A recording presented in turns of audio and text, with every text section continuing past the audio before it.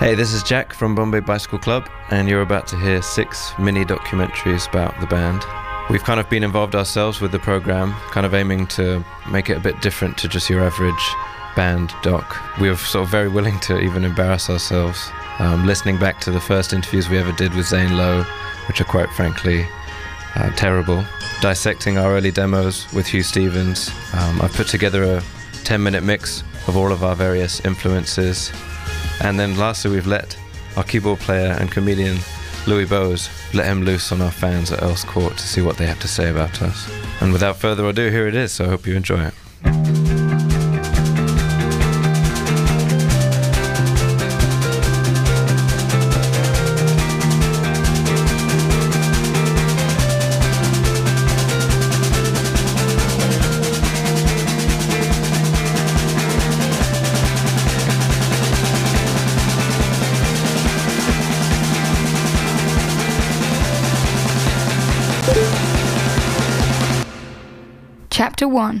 Those Early Interviews.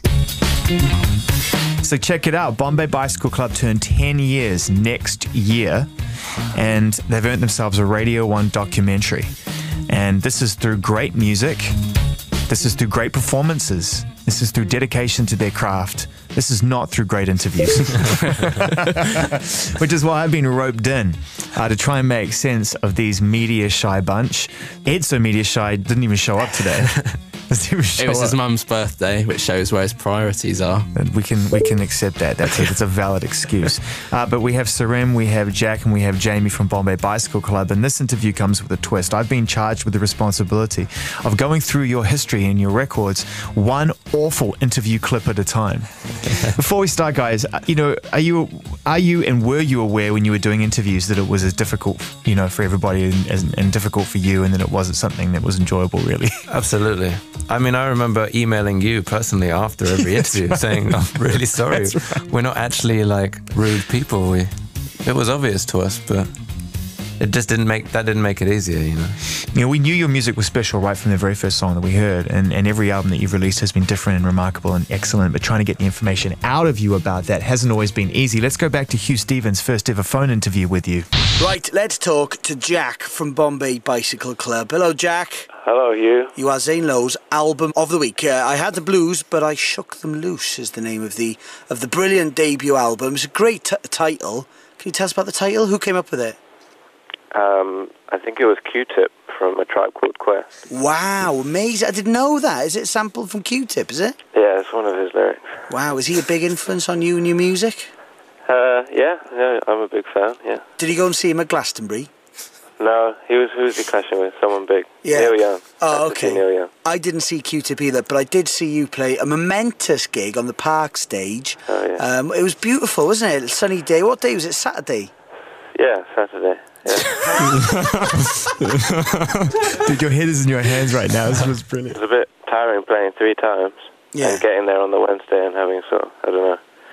Wow. Oh, wow, amazing. The enthusiasm just pouring off a young teenage Jack Steadman there it, it, raises an interesting point, I think, that interview, because you were still at school when you released that record. Mm-hmm. And those last years, or certainly for me, of leaving school, school and getting ready to go into the wider world are full of mystery and unknown. You guys knew what you wanted to do. It doesn't make it any less awkward, though, does it? I just wish I'd altered the tone of my voice slightly. If you'd been a little more perky, no well, Hey. How much of that reticence to talk about yourself do you just chalk up to kind of youthful awkwardness? Because when you're that age, you know, you when you're around your friends and stuff, mm. and you're still in a, in a kind of you know, confined education space, it, you don't really walk around the playground going, hey, check it out, what's going on? I'm playing Glastonbury, right? It's not what you do.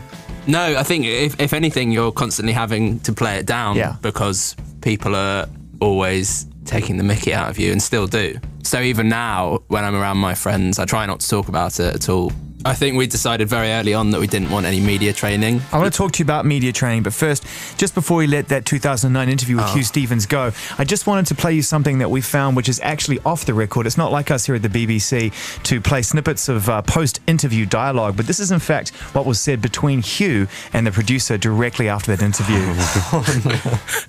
Met that man. Mate, mate, that was awful from him. Oh, it's unfair. You asked for this. I didn't. This was. I just want to say, by the way, because I've been getting a bit of stick lately from people thinking I've come up with some pretty dodgy ideas. This was not my This, idea. this was my idea. This was Jamie's idea. Um, media training. I, w- we, we heard whispers that there was talk about you doing that. Did anyone ask you to do that? It's not something that bands often talk about, but I think it's a good point to address given that you've you've survived this. We did have lunch with someone who was meant to be giving us media training. and then he got fired. What was uh, what was talked about at lunch? What do you remember taking, if anything, from that experience? Uh, it, that wasn't media training itself. It was just him saying that uh, you know you can talk to some people about it, and there's people that specialize in it. Well, there was a sheet of paper with bullet points with things like talk about your interests, try and be bubbly when you talk. And how did you make? How did that make you feel when you saw that list? Be It honest. just makes it worse. yeah.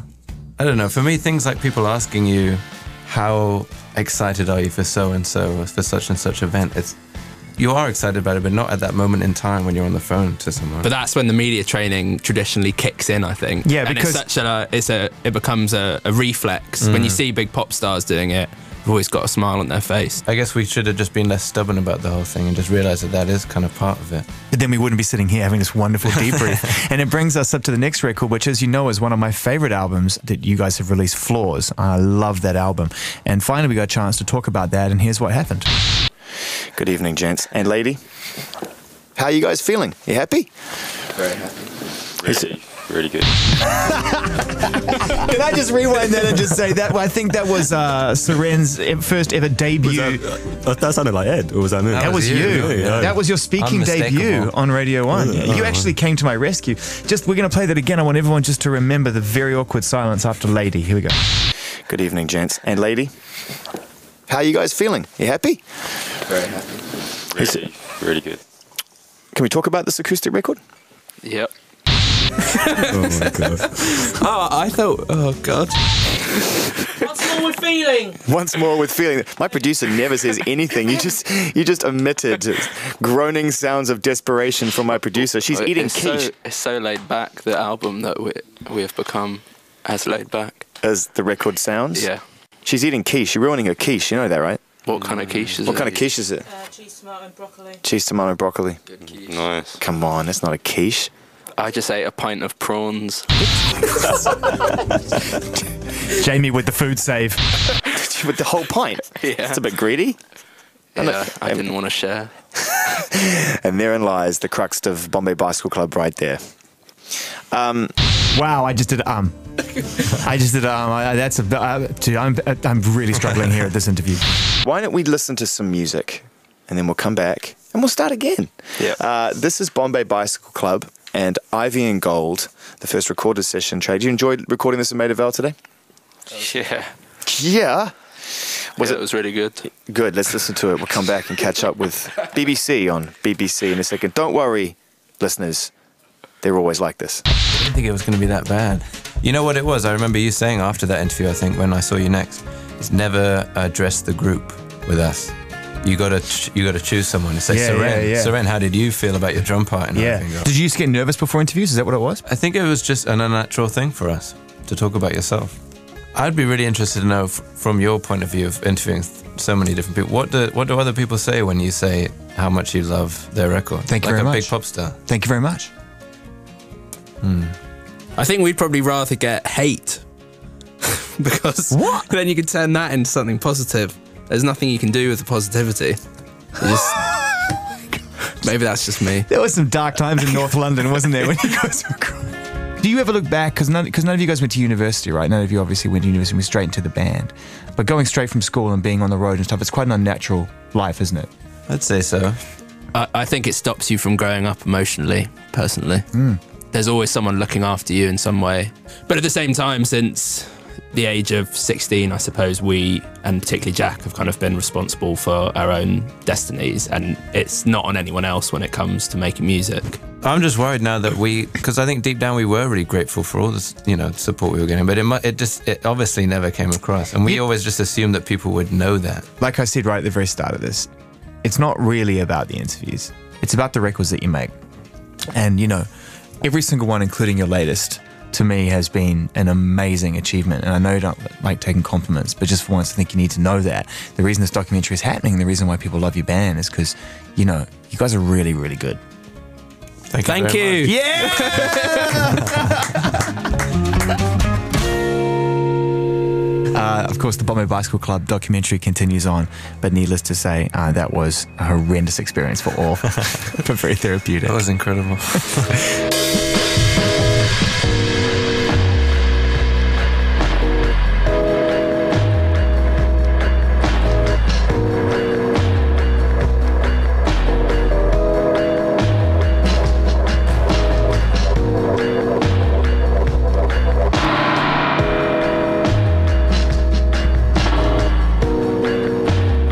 Chapter 2 The Main Collaborators. Are you going to call me Neil or Dad? Well, so, uh, we'll, well, you'll see. Um,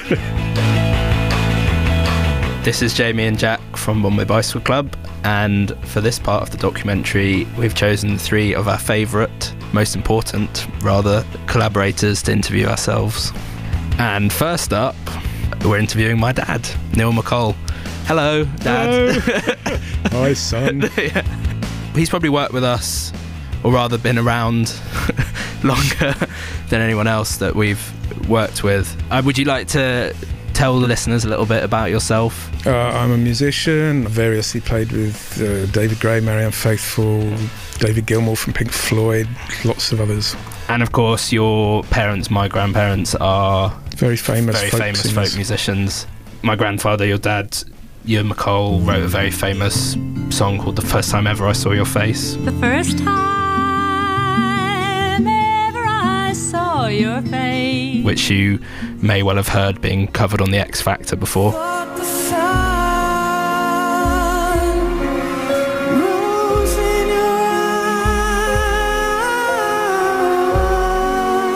The first bit of advice I ever remember giving you was um, when you came home from school one day and said, I met this guy at school who writes songs and I, I want your opinion as to whether I should work with him or not. and I said, Well, yeah, no, play me something. And you brought home this CDR which Jack had made, which was about an hour in length, one piece of music from beginning to end and it was a kind of a lot of electronica interspersed with bits of songs and some really great ideas for songs actually Some of which went on our first album, I think. yeah probably and one in particular which didn't i seem to remember well it's brilliant city lights City Lights, which mm, was fantastic classic. City lights the way, glowing as night takes over the day.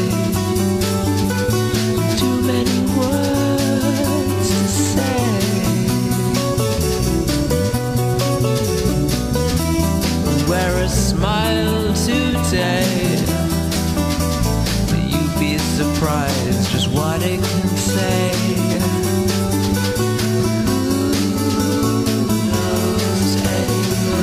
Jack, as well, grew up with a dad that, although he wasn't a musician, he was very passionate about music. Definitely just listening to the records that I found in his cupboard, and that probably explains my prog rock phase, age 15, and why I handed a CD of an hour long song to Neil.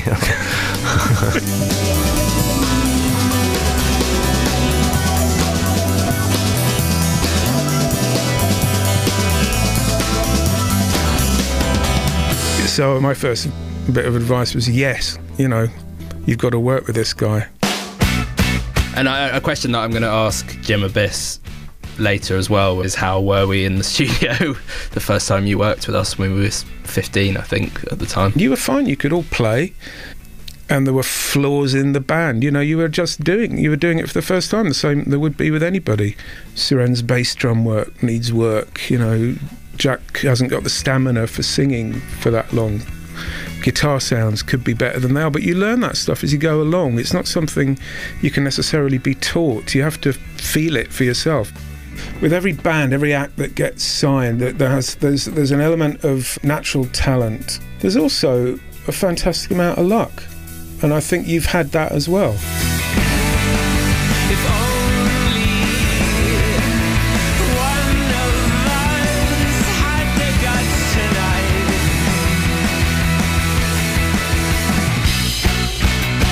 This is Jamie and Jack, and we're about to Skype with Jim Abbiss. He produced our first and third albums and is one of our most influential collaborators because he's one of the few people that has worked with us from pretty much the start. As far as I can remember, it was I think it was my dad that passed on our very first demos to you because you'd worked together before. Well, actually, he first of all rang me and said that you were in a band and would I like to come and see them. The show was like the next the next week, and I came down to a little bar in Islington, and I, and I loved the show and I asked if I could hear what you'd done so far. Can you remember your first impressions of the demos? What I first thought was that there was a maturity in the way that the songs were structured and the chords, and that's what really sparked my interest initially. And can you remember what it was like meeting us for the first time? You were, I think, very, very shy. I guess the scenario was intimidating because you were at school and you've never been in the studio before, and it was really difficult to get opinions from you. The thing I would absolutely credit you with is that you were fast learners, and what we actually ended up with, I still think stands up as a really good version of where you were at that point in your lives. And I think it's very important for people to be brave enough to go, well, that's where we were. I think even now we kind of in our heads have this idea of you being like a safety net where we can play stuff to and we'll know that you'll give us an, an honest response. Well, that's, that's, that's lovely to hear, and I, I hope that's always the case because I'll always be around if you if you need any kind of help because you know we're, well we're friends now and we have a history, so I, I hope that continues. Me too.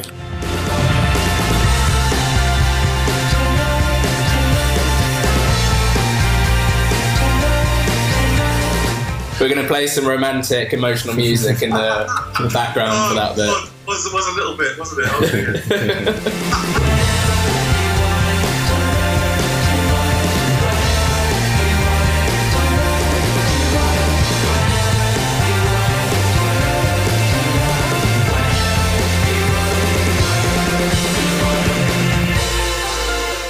Hey, this is Jack, and I'm here with Lucy Rose.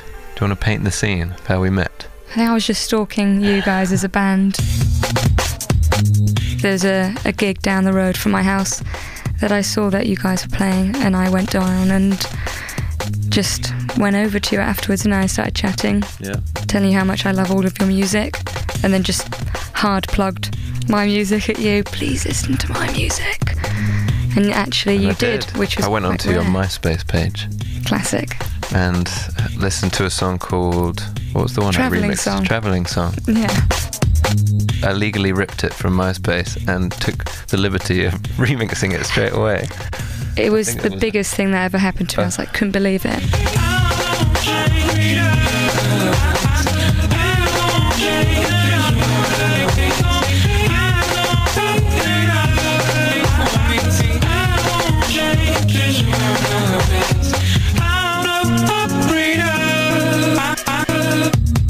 Timing was such that we were sort of just about to start doing our more acoustic stuff, and Mhm. we had this concert where we were singing a lot of covers and a lot of old folk songs, I think, and things with harmonies. And I, I think I just sent you a message saying, "Would you be up for singing with us?" I sort of just turned up to Union Chapel, met you once, and trying to introduce myself to the rest of the band who I was in awe of, and trying to be cool. And I probably failed miserably. Practiced a couple songs there and then, and then suddenly I was on stage with you singing. So it was pretty bizarre for me.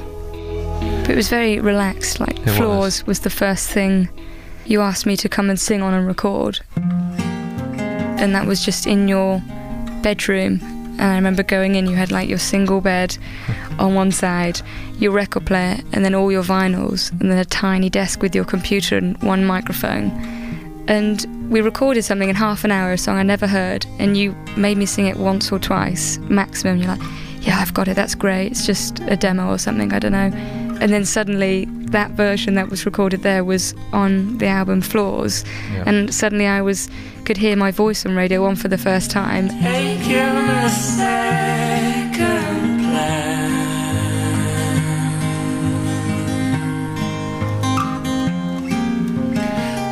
Second to understand.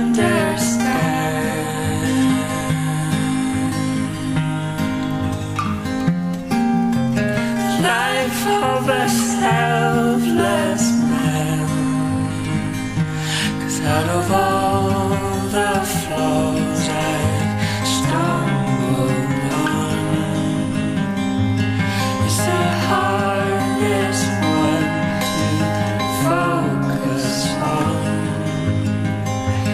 It's the hardest one to focus on. I think the funny thing is, is as time went on, you know, we had more of a professional relationship. I think I always tried to recreate that relaxed environment.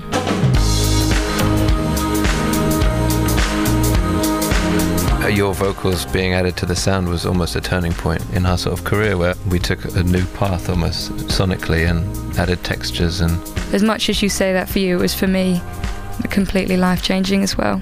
Being on records and somebody having faith in you as a musician, and you guys were the first people to do that.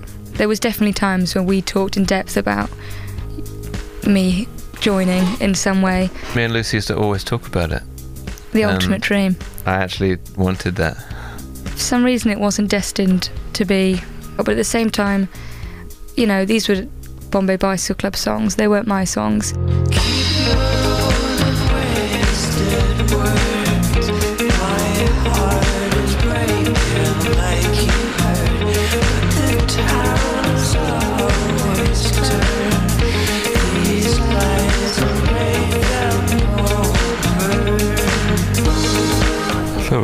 Emotional. I feel like I need to cry. I'm gonna go home and cry now. Need a drink. No, apparently, we can only ever make an album once we're 90 and have amazing stories to tell. It'll be one of those old folk albums, but we're not at the right age for it. That's what Jack tells me anyway. We're kind of in the in between stage right now where we're neither like looking forward or looking back. And I want to wait till we're looking back. Yeah, this is his plan. I'm free whenever, but I'll just wait.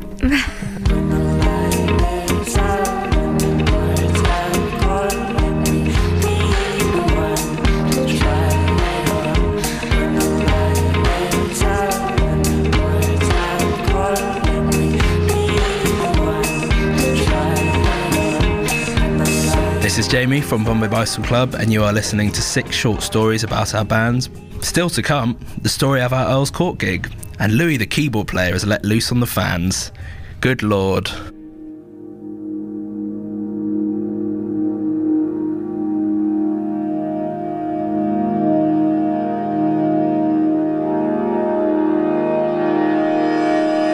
Chapter 3 Musical Influences.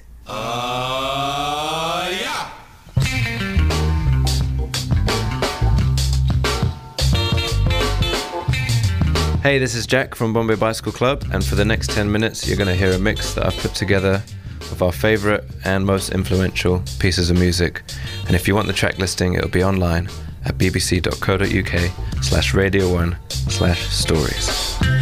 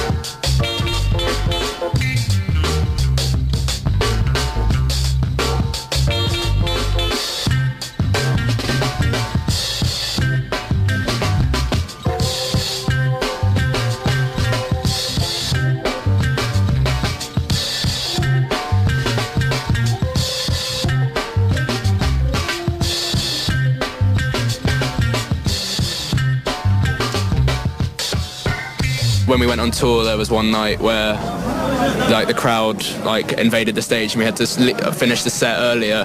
They manage every time to step on your lead and unplug you, and then you can't see anyone else in the band because there are too many people on stage, and you end up just saying, okay. Go f***ing mad!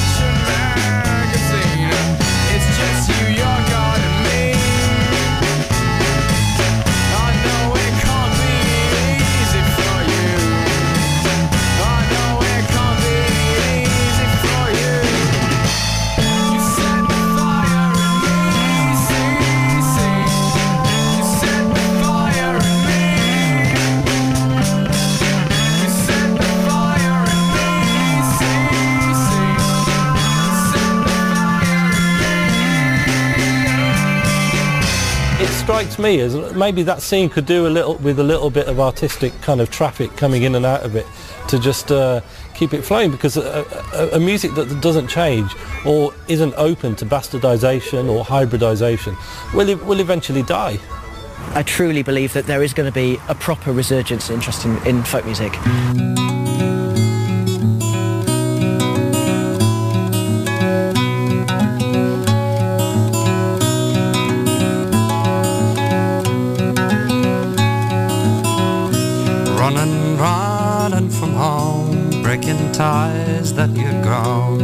Catching dreams from the clouds.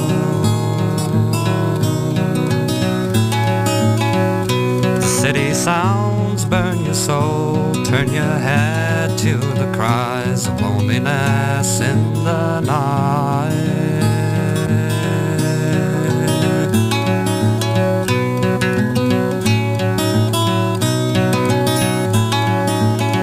Just like a fly when it's caught, the spider soon takes its prey, spins a dance round your heart. Yet be your beauty and age, your pleasure pleasing my mind. Your heart will shatter and fall. Step on pavement, soul, cast a glance at the young girls are making their way.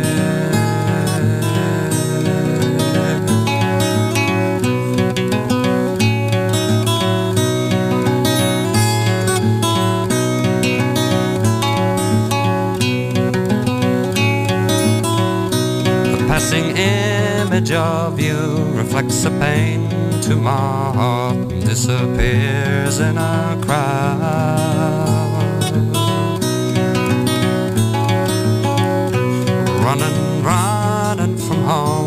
Breaking ties that you'd grown, catching dreams from the clouds.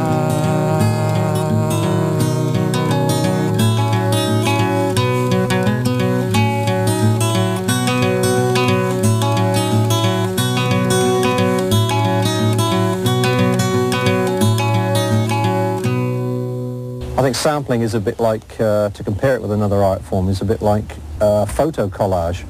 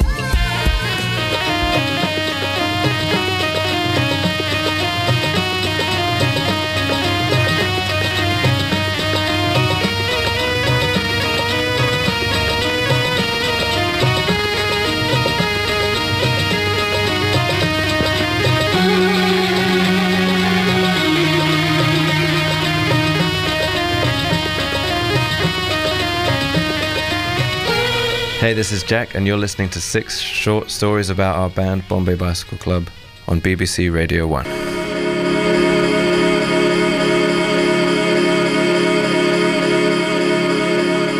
Chapter 4 Anatomy of a Track. This is Huw Stephens, and I've been a big fan of Bombay Bicycle Club. Uh, since I first heard them, it was the Young and Lost Singles Club, which comes to an end in 2015, who put out their first single, which was a version of Evening Morning. And I just fell for them completely.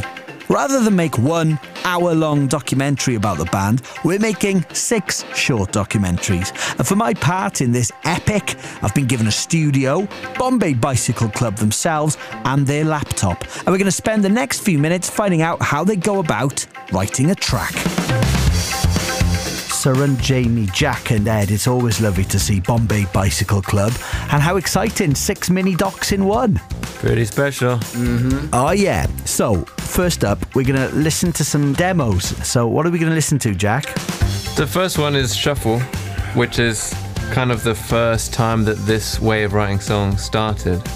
A song starting out in kind of an ambiguous way, where it could be an electronic piece of music or it could be translated into a Bombay Bicycle Club song. Wow. And we have sort of every version here so that you sort of get an idea of the stages it goes through before being printed on the record. The interesting thing is that Jack has always made electronic music as long as I've known him, but I I guess Shuffle and maybe Always Like This earlier on was the first time that his interest in that had found its way into the band's music. So, what's this version we're Well, going to hear? this is the first demo that I sent the guys of Shuffle, and just while you're listening to it, imagine them scratching their heads and saying, "What on earth is Jack thinking? What, what does he think he's doing?"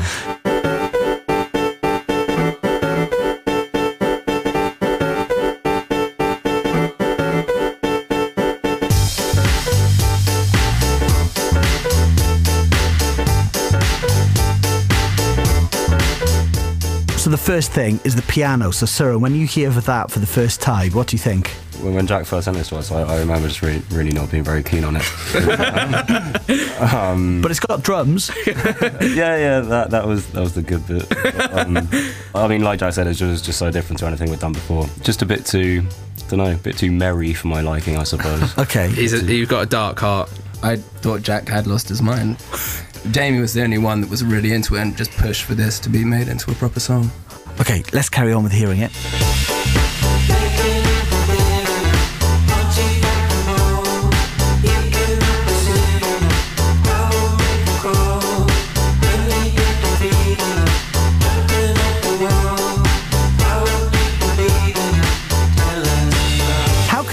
Doubters, Bombay Bicycle Club? I mean, that's so weird for, for, for all the Bombay fans listening because they're used to going mad to that live now. So to hear it is in that embryonic state, it's amazing. Yeah, it's quite silly. It's, it's one of our biggest songs. I guess it shows that we don't know what we're talking about, really.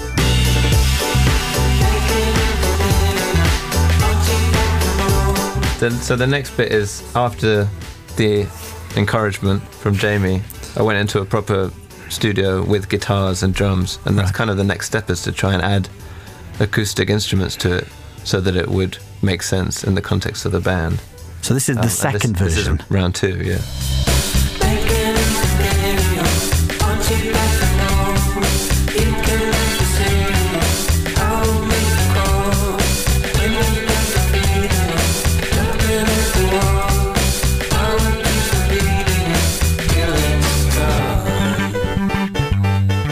Same chorus, but you know Ed gets to play the bass and Suren gets to play the drums and Jamie gets to play the guitar, and everyone's happy.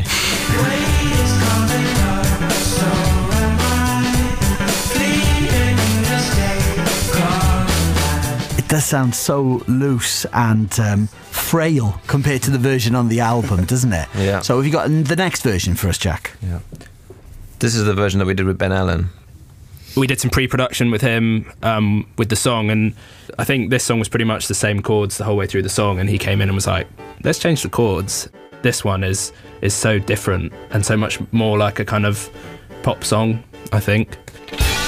Weight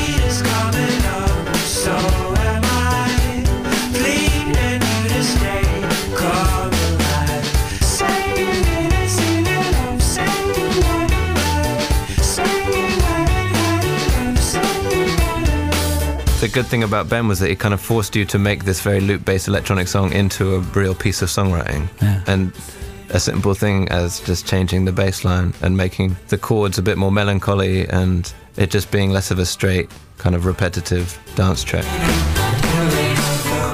So back into the Bombay Bicycle Club laptop. What's next, Jack? This is the opening track from our new record, uh, Overdone. So we're going to play you the original.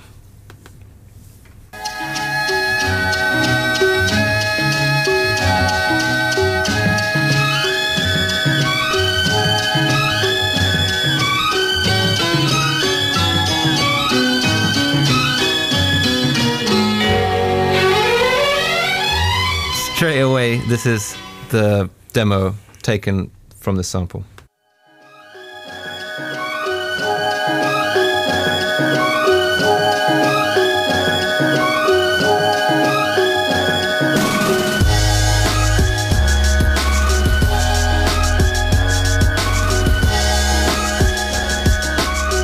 Uh, entitled Hindustan Ye West. Yeah, I think Okay. that's one of the best song titles that Jack's ever come up with. It's a shame it's not called that on the album. so you changed it to Overdone. So, Jack, I know you've got um, a big interest in Bhangra and in Bollywood music, and Bombay Bicycle Club have played in India a couple of times now, haven't you? Is that Yep. where the sample came from? Did you pick it up on your travels? That was, yeah, a record picked up in Bombay. Uh, it's called Apne Pyar Ka Sapne. It was just those strings. As you know, as soon as I heard that, I thought that if I was to revisit that song, I would have added some fat hip hop drums on it. Right. So I did. Yeah. wow, it sounds incredible. So again, it has absolutely no relevance to Bombay Bicycle Club, but the fun part is that sort of translation process. And Yeah. This is the first kind of Bombay demo.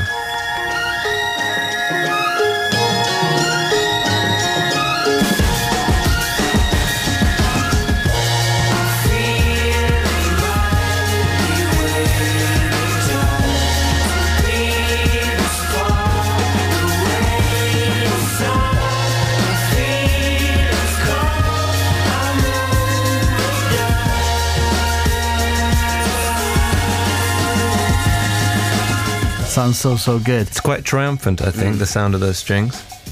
A sample often can just be the springboard, and that's what I like about sampling is it just inspires you to, to write something alongside it. And hopefully when you take away the sample, you've still got an interesting song.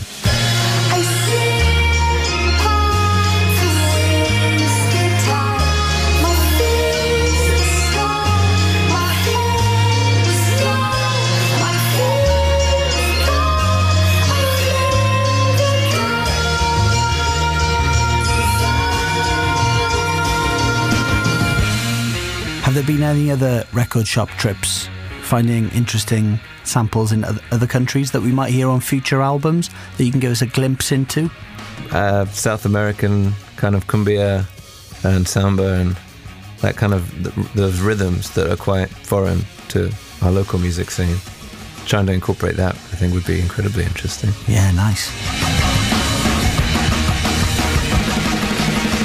So that was overdone, um, and we're in the uh, Bombay Vaults. What are we going to hear next? Uh, we're going to go to a song called Home by Now, written on a tour bus on an iPhone app. Um, and I've actually found that original little snippet from the iPhone. Uh, so this is the. entitled "Damn That Bus Cold." Um, the bus was really cold. this was also the. I think this was the very, very first demo of any song for this album as well. Yeah.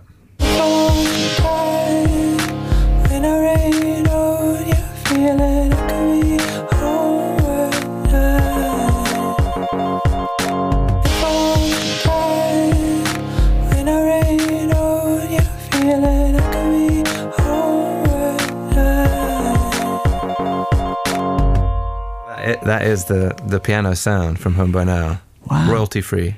But that was done on your phone. It sounds so good. Kept the piano and that, and that melody. And that's kind of how the song started.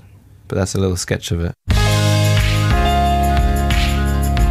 Actually, in both examples of Home by Now and Shuffle, the kind of semi mumbling does actually lead to lyrics sometimes in quite a nice way. I always think that, you know, maybe that does mean something. And then you, when you're writing lyrics, you know, in a similar way that you're sampling the music, you're also taking a little sample from those initial words. You could come out and see me. I could be home by now. Jack might disagree, but I think what has become most difficult from his perspective is is trying to write lyrics to to songs that have had mumbling on them for a year. You get used to like the phrasing and the number of syllables, and then it suddenly becomes quite difficult to imagine the song in any other way. That's probably where we disagreed most over this album. I I think there's something that is really hard to recapture about a first performance. And it's something that you can go round and round in the studio about when you're in a big proper studio. Like, "Oh, how do we get it to sound like the crappy demo? And in in the end, you just sort of keep it because that's what is magic about the song. And I think that's the case with this one.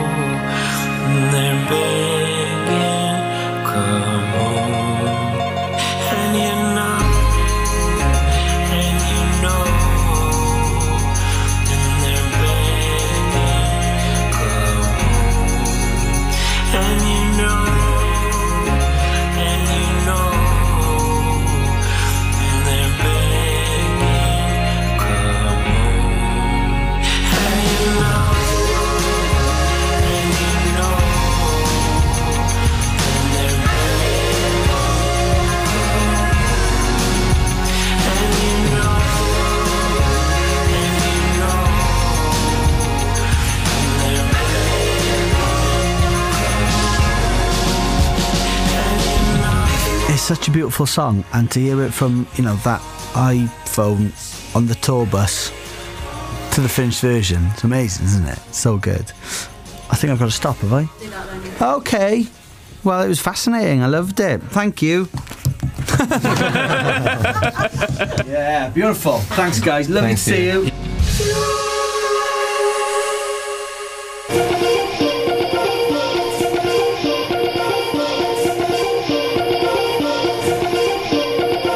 Chapter 5 Louis' bit. Hi, I'm Louis. I've been working for the band since 2009 when I managed to convince a slightly inebriated Ed Nash to let me tune guitars for them. Since then, I've been around the world with them, obnoxiously farting my way through the cramped conditions that you live in when 12 of you sleep in bunk beds on a bus. So, it's fair to say I know them all pretty well.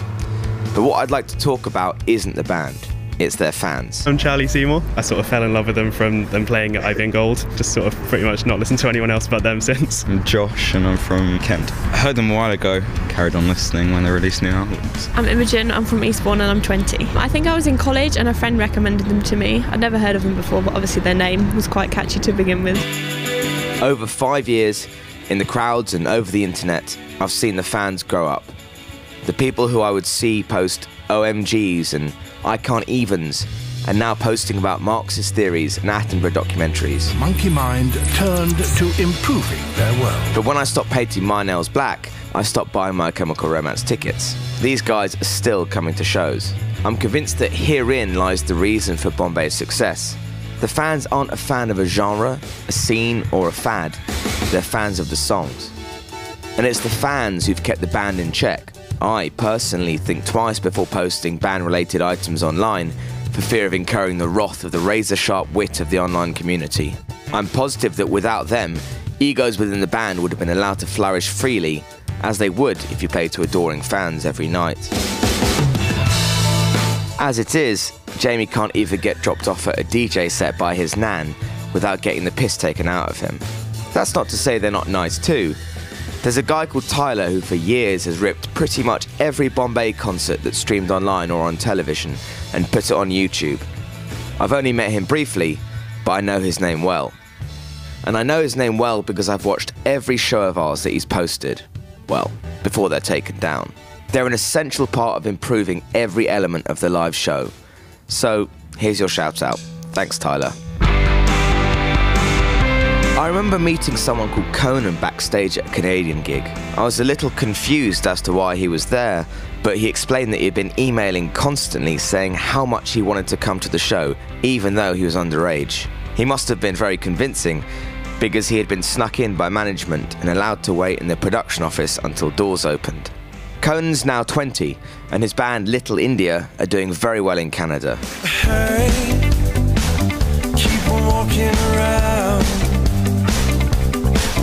Last summer, they toured around the country, and who tour managed them? A Bombay fan from York called Ian. How did Ian and Conan meet? Nearly 5,000 miles apart? They met through the Bombay online community. Because I've never been part of a community that's like as close knit as we are. We just all sort of chat on there, we talk about Bombay, make funny pictures of them and stuff. There are these ones called the McCollars uh, who love Jamie, the guitarist. There are also the Stead Bombs uh, who love Jack, and they write fan fiction. Now, I interviewed a lot of these guys for this documentary, but instead of letting them speak for themselves, I had them answer stupid questions like which band member they would bring home to meet the parents. Bombay fans, being as lovely as they are, they humoured me.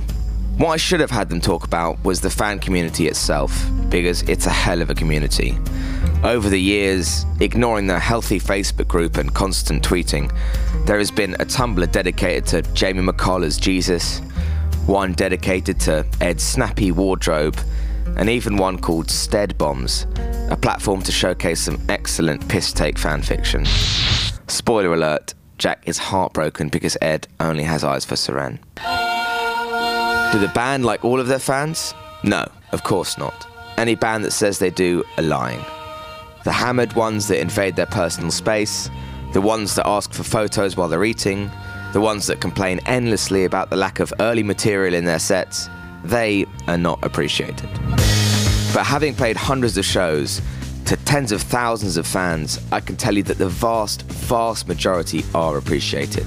And it looks like they appreciate each other too, be it online, at gigs, or at bicycle meetups. It seems that the lack of scene, of binding genre, has brought longevity to both the band and their followers.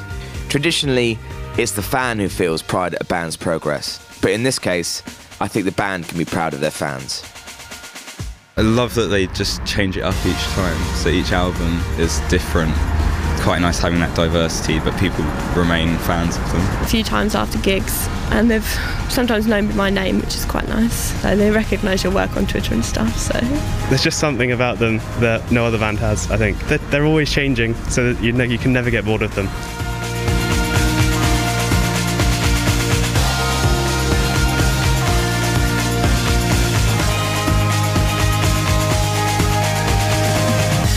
This is Jamie from Bombay Bicycle Club, and this is Six Stories of Bombay Bicycle Club on BBC Radio 1.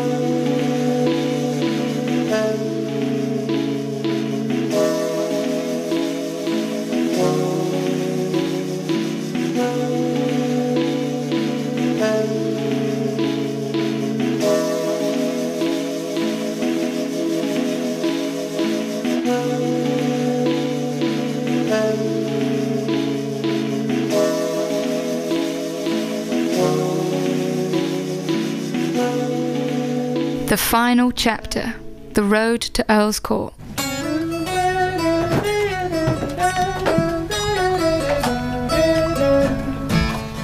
Hey, I'm Jack. Hello, this is Ed. Too loud. Jack, Jack. First time in our lives we've ever spoken too Jack, loud. Jack. Is that the word you meant? We are here at John Henry's in Caledonian Road in London doing some rehearsing. Just uh, it's a bit um, clanky, plunky, plunky, plunky, clanky. Well, well, if you want me to be less plinky, I will plink less. We leave for Iceland on. In fact, we leave for Iceland tomorrow. So we spend two days in Iceland, then we go around Europe, then to South Africa, and then straight into the UK tour, which we finish off in Earl's Court. Jason, you're fired. We have 19 guitars on this tour. I believe that's uh, like our, our crew are genuinely amazed that we have that many guitars and we, we're using them all. I don't think anyone else uses more than four or five. Bongos. Goes, oh yeah. A huge crew, lots of lights, um, set pieces, projections. Not wanting to sound too cheesy, it's just going to be the like a really nice way to end the year. But we're doing it in London in a venue that its final day is coinciding with ours. You know, and we're just about to announce that it's going to be the final show ever at Earls Court. So you, you know, you couldn't really pick a more perfect way to finish your touring cycle. You go back to the Vox, just do that line, and then straight to there, and then you repeat this little bit with the dots. And then the ripping solo. Ripping solo. I think the monotony of rehearsing is what kind of drives bands to try something different with their songs, you know, once they've been playing them for years. Otherwise, we, you know, our songs wouldn't change at all live.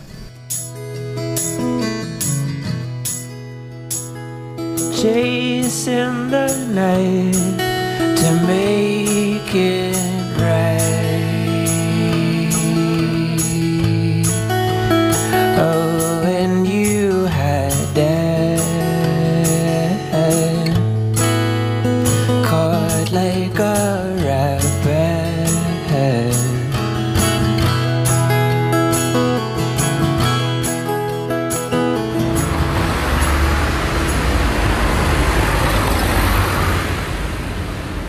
What's up? Yep, yep, yep, yep.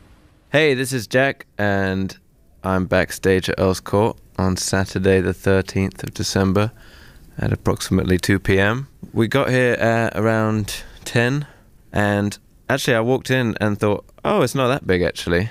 Maybe it's the same size as Alexandra Palace, but I think that'll change when I get on stage. I've just had my lunch, and we're about to go have a little celebratory fireworks display before we start our sound check. Hey, this is Ed at Earls Court. We've got video walls, we've got fireworks, and actually we have a special guest who's just turned up, and he's got more guitar techs and more guitars than we have. So we'll see what happens with that. Uh, we didn't want to say before, but now we can reveal that our special guest is David Gilmour of Pink Floyd, and the reason for that is the first gig that was ever held at Earls Court was a Pink Floyd show back in 1973, and this is the last show we'll ever do here. So we got him to come and play Wish You Were Here. I'm more nervous about that than the gig itself. I'm a huge fan of his. It's Jamie. The mood is expectant, mixed with angry manager standing in the background because we're running behind schedule. Right, let's go pyro crazy. I'm in the arena. It's very noisy. There's, it's like being on a building site, you could say. And Ed is just coming over. It looks a lot bigger when it's dark. it's having a bit of a cry now. Hello, I'm Rae Morris here at Earls Court with Lucy Rose. Yo, hi. We're here uh, just about a sound check for tonight's show. Yeah, well, we actually didn't think we were going to be playing, but in true Bombay fashion, they uh, kept us on our toes and a couple days ago sent us both a text saying, Do we want to come and sing here? And obviously, that's a complete honour, so we're both very excited. I think we are about to see some practice fireworks. Oh, yes! We're off. There we go.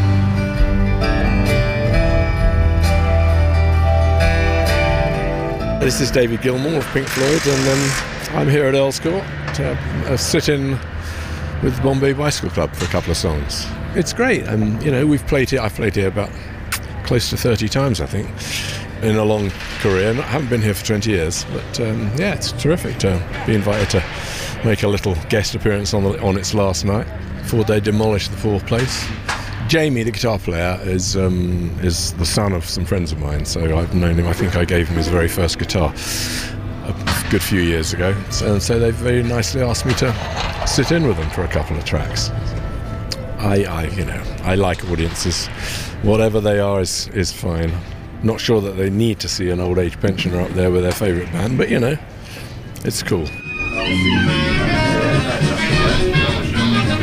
This is Ed. It's 20 to 6. I just had a nap on the floor in our dressing room and I'm gonna eat dinner. Quite a productive afternoon. It, it, it's a bit weird. Everyone's just trying to kill time and get there without, you know, freaking out. Sorry, I'm still half asleep. Hello, I'm Suren, uh, the drummer in Bombay Bicycle Club. I think the doors are just about to open. I think obviously we're all a little bit nervous, but um, but at the same time, you know, we don't want to freak ourselves out. Hello, I'm Louis. I'll just talk you briefly through our rider. Uh, we have uh, 24 room temperature, uh, bottles of uh, Belu water, uh, and then we have two bottles of red wine, uh, some beer, some Coca Cola, and as a treat, because today's an especially big show, Earl's Court and all, we have some Haribo Tangfastics. There's a gig about to start! There's a gig about to start! Let's go. Yo, yo, I'm on the way to the stage. Suren? Where the hell is Suren? Wait, where is Uh, hold on. Hold on, hold on. Suren? Are you ready? Yeah, we're going.